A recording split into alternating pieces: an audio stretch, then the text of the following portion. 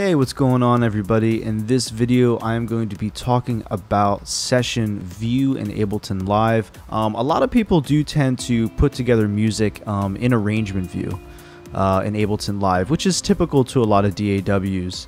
Um, what's very unique about Ableton Live Session View, however, is um, it's just a very fun workflow for creating music, or if you're at this stage of your production where you've already loaded in a bunch of music, um, actually triggering and creating an arrangement on the fly. Okay, so right off the bat, when you're looking at your session view, it's very easy to get to this place where you have clips uh, MIDI kind of loaded into the session view. You can drag and drop things from your Explorer into what we would call scenes, which are these cells that you see here.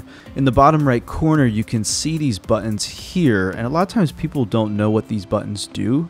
Um, this is actually I.O., so these are show hide buttons for the interface that you see right here. So if I turn that off, it's going to hide all those I.O. features, um, which if you're working in session view, you probably don't need because you're not recording anything um, and you're not really worried about routing anything to anywhere else. You're just triggering your cells up here. You can actually get rid of that. So I'm going to hit that and it's going to clear up this um, interface a little bit more. And a lot of times you're not even really messing with your volume and you can get rid of those as well by clicking the M and that's no longer lit up. And now you have this really blank canvas uh, to work with. And you might be thinking, well, why would I get rid of all that stuff? And the reason why is because you can have as many rows of these cells as you want. So I'll click on one of these tracks and hit Control I or Command I, and it's going to create a new uh, row of cells. And you could actually just continue hitting this you could fill the whole page and it will go past that. Now, why this is important is because um, you could theoretically build like a one hour live set of material um, in just one session of Ableton Lives. Okay, so let's say we have what we need with our track and now we're ready to record um, into our arrangement view, uh, which if we hit tab, we can see right here. You want to make sure that you clear out your arrangement view uh, so that there's nothing actually there.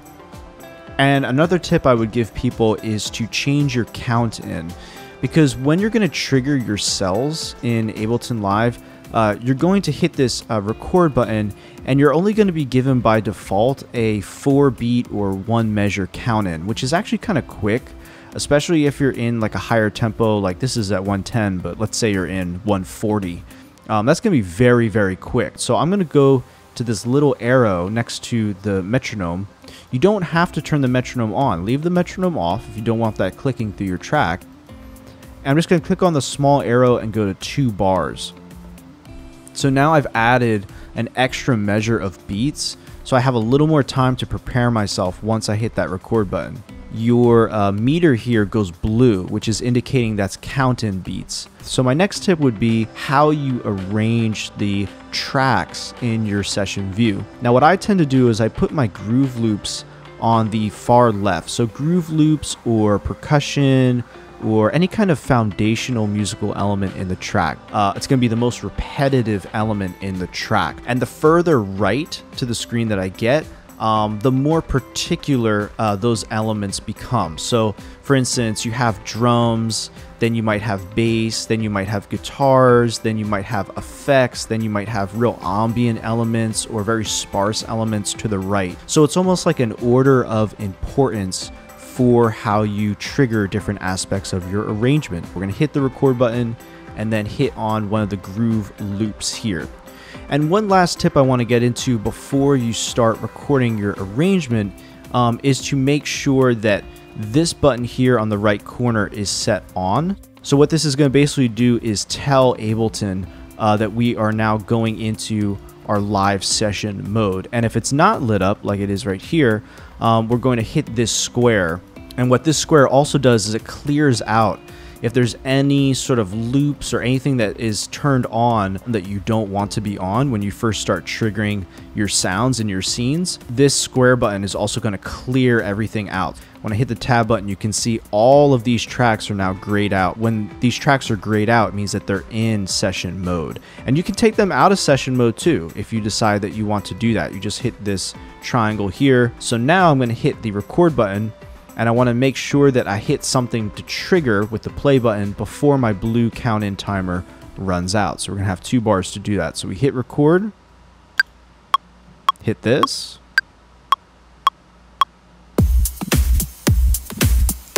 Okay, so now we've triggered our arrangement recording um, using this groove loop at the top. And you can always hit the tab button and go back and forth to see your arrangement recording in action. I can also hit another loop here. This is a percussion loop. So again, order of importance in your session view. So you have your groove first, then your percussion. So I'm going to trigger that at the start of the next measure. Now you can see that also happening on the arrangement screen. And then you can just basically experiment with adding new elements to your track, building your arrangement up from the bottom up.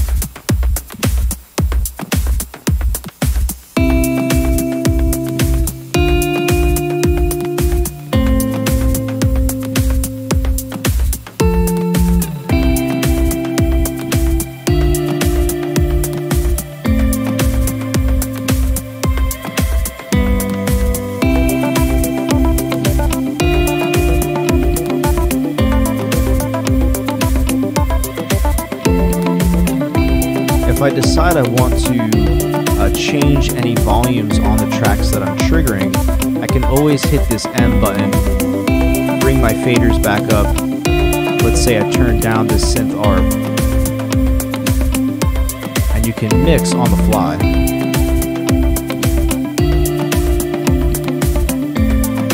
Let's trigger a few more things.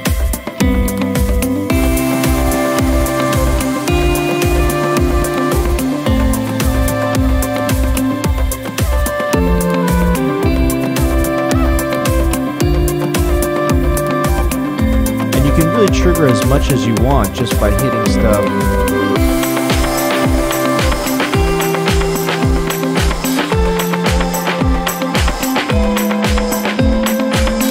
And your arrangement view will respond to that. I can also cut out an element by hitting the squares underneath to create a stop in those tracks. Can also trigger an entire row of information by hitting the play button on the right.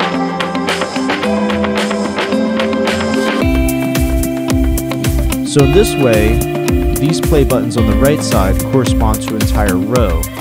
So you can arrange your scenes to correspond to that. If you want to have a certain type of section of your song or your set, you can arrange them and make sure that they're horizontally arranged with each other.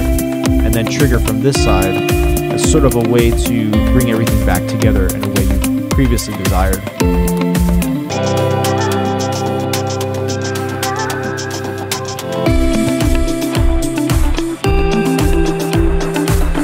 And then you can always go back to individually triggering scenes to create new variations.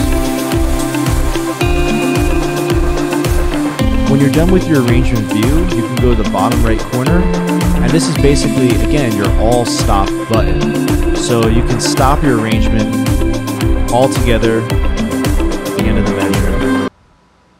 Hit the stop button there so it stops recording.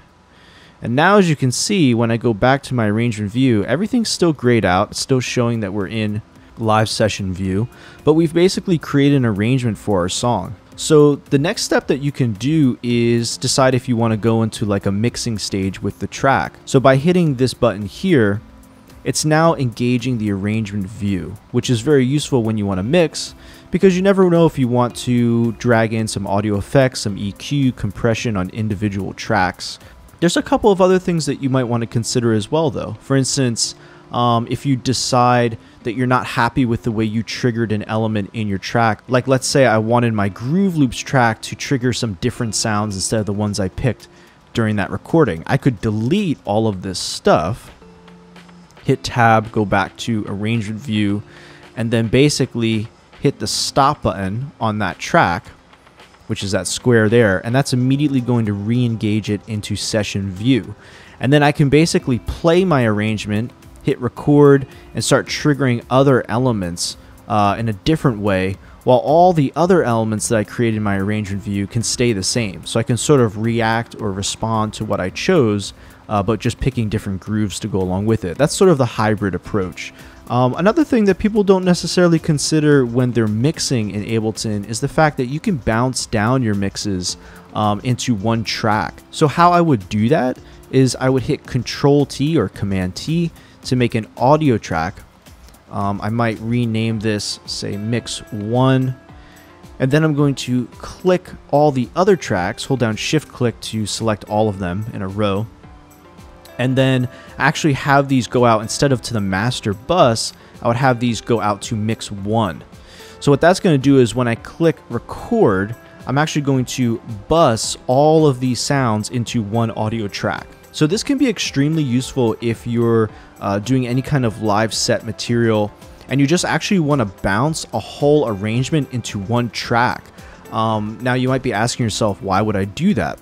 Well, the reason why is because once you've done something like this, I've now created basically a whole arrangement of my track into one audio clip.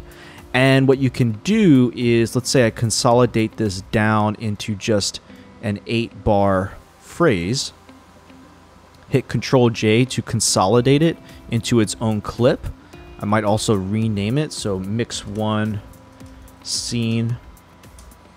And then I'm going to click drag, hit tab while I'm still holding the uh, mouse, and I'm going to drag this into its own scene. So what I've done is I've taken a piece of my arrangement and I've actually created a new track with just the arrangements in their own scenes. So this is a very powerful way to continue consolidating down um, and having tons and tons of your music uh, just be able to re-trigger it on the fly. And again, like I said, you could create several rows of these arrangement scenes. So that's something else that people can consider doing. So obviously there's a lot of creativity and flexibility to using Session View, whether you're trying to create an arrangement for your song or arrangement for a live set.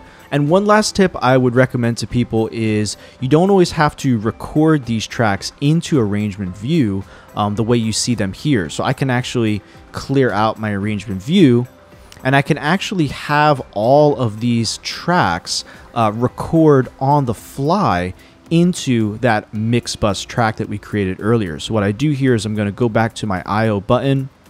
I'm going to click that and I'm going to create an audio track. Again, we'll make this our mix bus audio track. And the reason why I brought my IO back up is so that I can send everything. I'm going to shift click to select all the other tracks and I'm going to send these tracks uh, to the mix.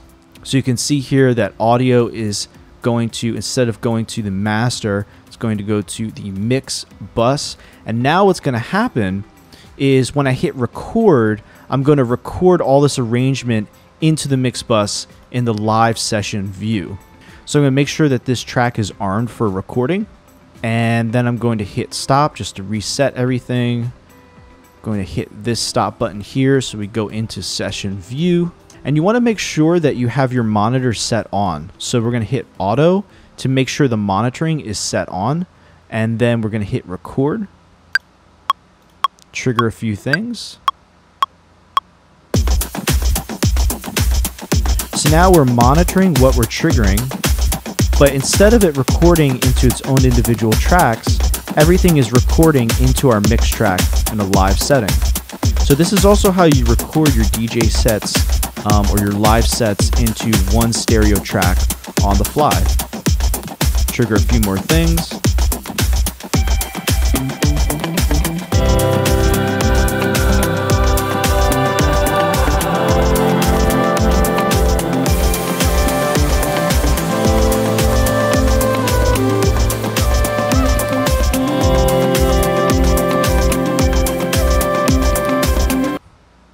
And basically my whole set now is inside this one stereo track. So this is very useful for people who again are doing uh, live DJ sets or something where they want to record their arrangement directly into uh, a stereo bus track.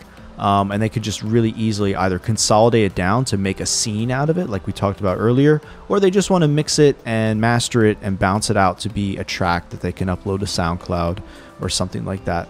And yeah, if you're into making music with Ableton packs, which you can actually purchase from different companies and sort of open them up and everything will just spill out onto the screen like this, it's a really fun way to make music. Um, I actually have this pack available for free on my Gumroad store. A link is in the description. But yeah, if you got something useful from this video, make sure to hit the like button and subscribe for more. I put out new videos pretty often, so yeah, hopefully you enjoyed it and I'll see you next time. Have fun.